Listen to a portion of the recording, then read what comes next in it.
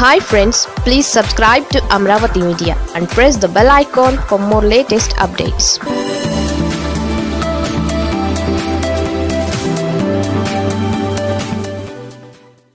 Modi పేరు చెబితేనే మొహం మార్చుతున్నారే.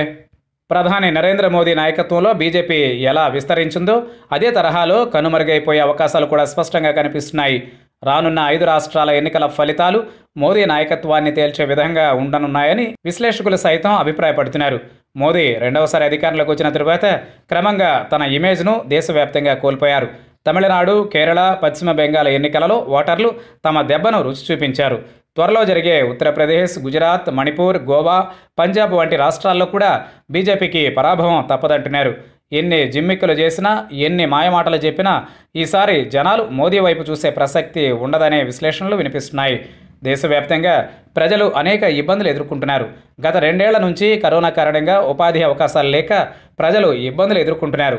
పారిశ్రామికవేత్తలకు అనుకూలంగా మోదీ ప్రభుత్వం మారిపోయిందన్న ఆరోపణలు లేకపోలేదు. అదానీ అంబానీలకు దేశ సంపదను కట్టబెడుతున్నారు. దీంతోపాటు గ్యాస్ పెట్రోల్ ధరలు అడ్డగోలుగా పెరుగుతుండడంతో ప్రజల్లో అసహనం కనిపిస్తోంది. నిత్యావసరాలు నింగినంటాయి. ప్రజలు రోడ్డెక్కకపోవచ్చు. మోదీ ప్రభుత్వానికి వ్యతిరేకంగా నినాదాలు చేయకపోవచ్చు. అలాగని వారు సర్దుకుని పోతున్నారనుకుంటే పొరపాటే. సమయం వచ్చినప్పుడు వాత పెడతారన్నది వాస్తవం. గతంలో ఎన్నో ప్రభుత్వాలు అలాగే కుప్పకూలిపోయాయి. ఇక ప్రభుత్వ సంస్థలను ప్రైవేటీకరించడం విమానాశ్రయాలను రైల్వే స్టేషన్లను సైతం ప్రైవేటు వారికి అప్పగించడం విమర్శలకు తావిస్తోంది. ప్రధానంగా పేద మధ్యతరగతి ప్రజలు మోదీ ప్రభుత్వంపై పూర్తి అసంతృప్తితో విన్నారు. అలాగని ఉన్నత వర్గాలు కూడా సానుకూలంగా లేవు.